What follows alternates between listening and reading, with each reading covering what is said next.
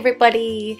Today I'm obviously doing this ballroom dancing makeup look and I'm going to list all of the products down below so I'm just going to quickly talk through what I'm doing and how I'm doing it. I am using two primers as usual, one to blur out the pores first and then a radiance boosting primer just to make my skin look nice and glowy and of course to keep my foundation on all day long through the competitions.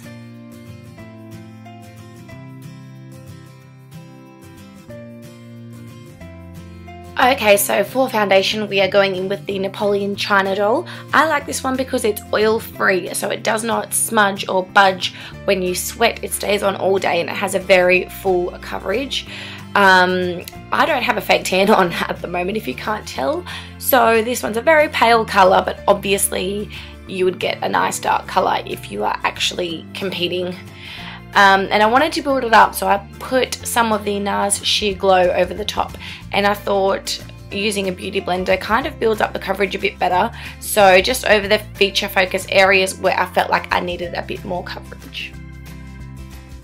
And now to prep for our eyeshadow, I'm using the MAC Prep and Prime. This keeps your eyeshadow on and it really does such a good job of preventing it from creasing.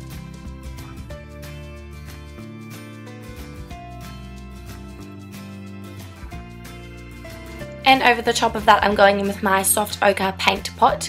I like this because it adds colour, so it's kind of like a really good base as far as it cancels out all of your veins and everything. You don't need to use both, but I just like to.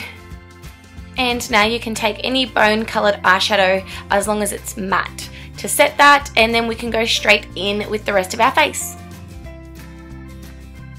And now to set the rest of our face, you can use any pressed powder, you can use a translucent powder, it doesn't matter, it's a personal preference. Because it's ballroom, you do want it to be thick makeup, so I like to use a pressed foundation. Um, this is the Napoleon one, and yeah, I just love it. It just goes on really smooth and makes my skin always feel and look amazing. And now moving straight onto brows, I'm actually trying what Desi Perkins does and using a clear brow gel first before you go in and fill in your brows. And might I just say, I think she is onto something. She's a genius. It actually works really, really well because you don't have to stuff around with the hairs moving during the whole process. It's amazing. You should definitely try it. So you've all seen me do my brows a million times if you've watched my videos before and I do have a brow tutorial. Um, I will link that down below. The only difference I've done today is I've done the clear brow gel first instead of last. So I'm just going to skip right on to the next step. Okay, so now that my brows are done, I'm taking any white eyeshadow and I'm highlighting just under the brow bone. Don't worry, that little tiny hair does eventually get put back into place. So yeah, you can use a shimmer white, you can use whatever you like, it's ballroom, go nuts. I'm going in with a bronzer to warm up my face because I'm not wearing a fake tan for today. I don't want to put too much bronzer on because it will look like my face is too many shades dark for my body that makes sense? No, it didn't. Um, so this is a matte bronzer. You can use a shimmer bronzer or a matte bronzer. It's a personal preference, but basically the areas where you want to put it is um, your temple, around your hairline, down um, your cheeks, under your cheekbone, and under your chin. Okay, so now I'm going to stick the hairpiece in and I wanted to wait until I have my bronzer on my face because I want this to come on the front of my face a little bit. So I'm just taking some eyelash adhesive and I am dabbing it on the back of it so you can see these tiny little dots. You don't want to put glue all over it because that would just get stuck all through your hair. Would take forever to get out. Um, so you need to wait for it to go tacky for a few minutes. I think I left it for at least three or four minutes. In the meantime, I'm doing putting my jewels on. my earrings, ring, bracelet, whatever, you know what I mean. I really did wait a while, didn't I? Now apparently I'm putting tape on the eyes just to prep them for my eyeshadow because I want it to have a really nice wing. And now with a fluffy blending brush, I'm taking this colour from MAC and I'm contouring my socket. Normally this colour probably would be a little bit too dark to contour your socket, but this is a crazy ballroom dancing look, so you can take any medium tan brown shade. And that little brow hair that's out of place, that is getting put back into place, don't you worry.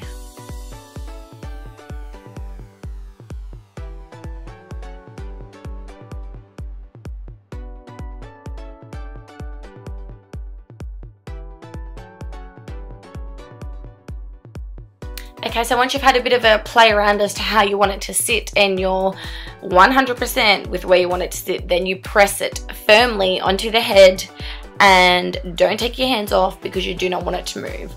And have a bit of a sing and dance, whatever you want to do. But once you've got the majority of it in place, then you can fix the little edges and corners into place as well.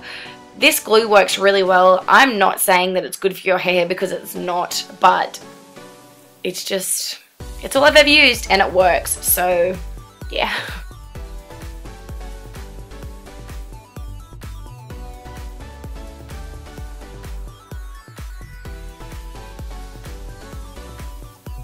Okay, so after holding that in place for a few minutes, I'm now going in with my very first colourful eyeshadow with the same big fluffy blending brush. And we are just sweeping this through the outer portion of the eye, mostly focusing on just under the socket. You want that tan colour to still show a little bit. So if you creep this purple up too high, it's going to overpower it and it's going to make it worthless that you even put that first socket color there. So keep it just underneath and just keep blending. I literally blend this for a good five minutes. Okay, so now taking the next shade. This one has a bit of a shimmer through it and it is so sexy. It's got like a blacky tone in it. I am taking a smaller blending brush because we're slowly working our way down towards the lashes. Taking a smaller brush means that it's going to cover a smaller surface. It also means that it's going to be more precise and you're going to get that really dark depth, that bam definition, you know what I mean? Uh, yeah, so just keep blending, blending, blending. Don't take it up too high. Focus on the socket. Don't put it too far into the inside of the eye um, where your tear duct is, try and stay away from that area.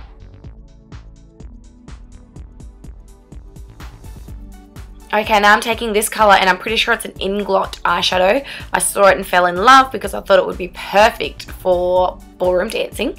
So I just wet my brush with a bit of Fix Plus and I'm just dabbing it into the tear duct and all over the inner to the middle of the mobile lid. Just dab, dab, dab and keep on pressing. So now once we've done this on both eyes, I am dipping into some loose blue eye dust. Putting it into the Fix Plus is means it's going to be more pigmented. It helps it stay on as well.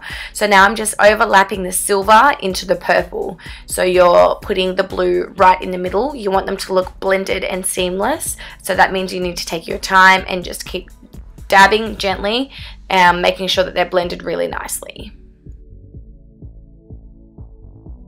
And just continue to repeat that process with the blue until you are happy with the desired effect.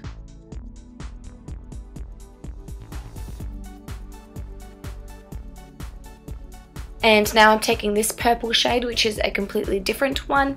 And I just wanted to reinforce the socket. I felt like it got lost a little bit with all of those colors going on. And I wanted to make the socket a bit more of a brighter purple rather than a tan. Um, it makes the look more intense. So of course this step is optional. I'm taking a brand new brush uh, and I'm using a very light hand. If I used a heavy hand it would not look seamless and soft and blended and after doing that on both eyes, it's time to take the tape off and a little bit was stuck under the hairpiece, but that was alright. I managed to uh, make it work. And now for concealer under the eyes, I'm going in with two different types of concealers because I find for me that works best. And then I'm going in and setting it with powder.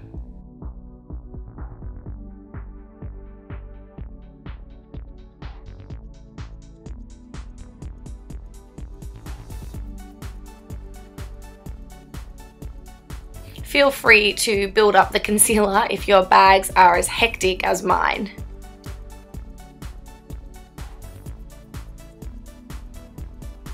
And now I'm setting the concealer with the yellow toned powder from the Australis Contour Kit.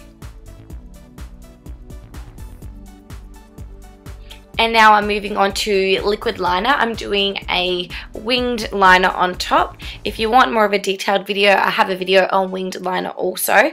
Um, don't be fooled though, it definitely gets tough even for makeup artists. It is still something that challenges you every single day. Um, I'm sorry that this isn't in the best view. I was I was concentrating. You guys know what it's like, I'm sure.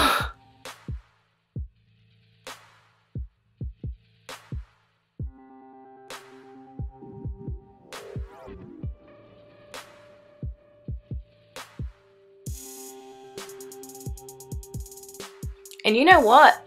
They're never going to be even. They've just got to be even enough to pass in public so other people can't notice.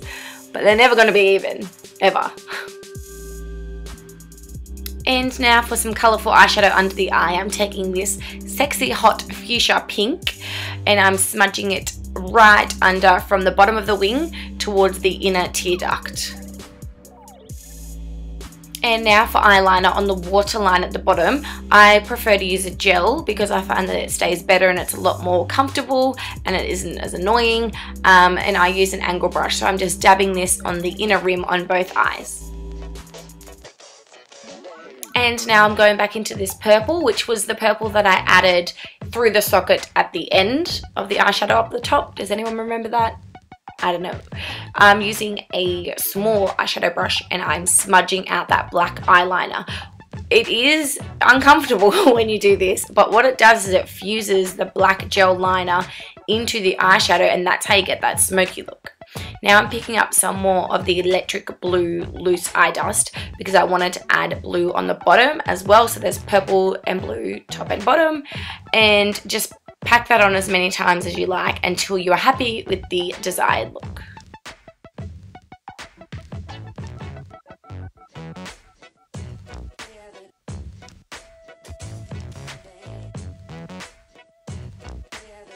And why end there? If we're going for a crazy makeup look, then just keep on going.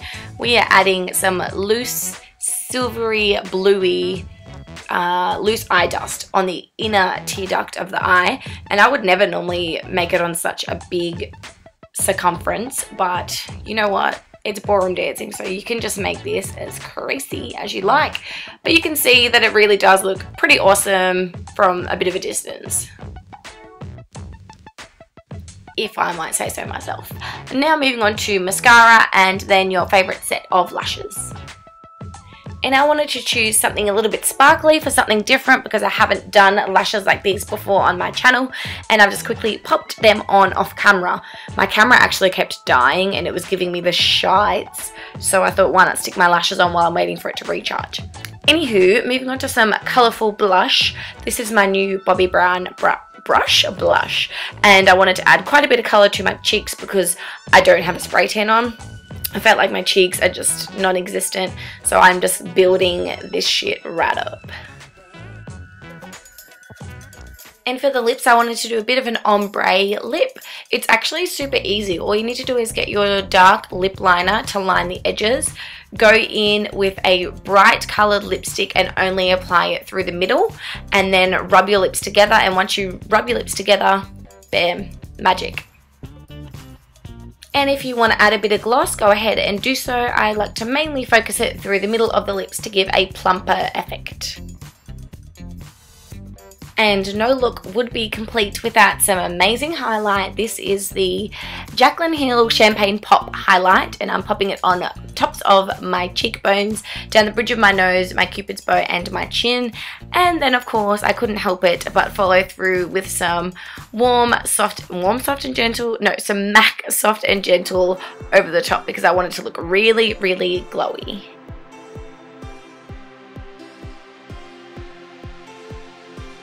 And now lastly, to set everything, I am popping on some MAC Fix Plus to make me look nice and dewy and keep everything in place. Anyway guys, this brings me to the very end of this makeup look. I hope you guys loved it. Feel free to leave any comments and I'll see you in the next video. Bye!